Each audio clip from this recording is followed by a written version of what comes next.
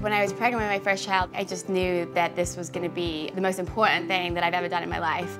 And I also knew it was the thing out of everything that I achieved, the thing that I wanted to be best at, because that seemed to be the ultimate passion that I had. How did I make a career out of that?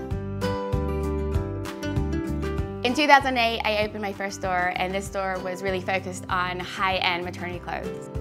Women were coming for a dress, but they were coming for more than that. They wanted help, they wanted advice, and I felt very genuinely that I did too. I just had a baby, and we started teaching classes, from maternity belly dancing all the way through to CPR. It was everything you can imagine. Love with confidence is a really important phrase for our company and for me personally. What I want to do is help moms have the confidence I know that's in them so they can really enjoy parenting the way they deserve. It's the most amazing thing that can happen to anybody and it should feel amazing and great.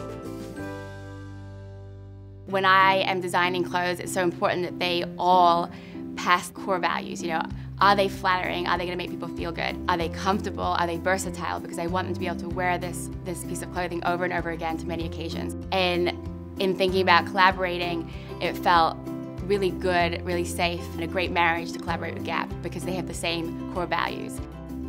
So some of the great details in the dress, there's buttons all the way down, it's a shirt dress, and the function of this is really so that you can breastfeed. And then there's a belt that you can move up and down because your waist changes when you become pregnant. And then finally there's uh, panels on the side which allow the dress to really grow with you.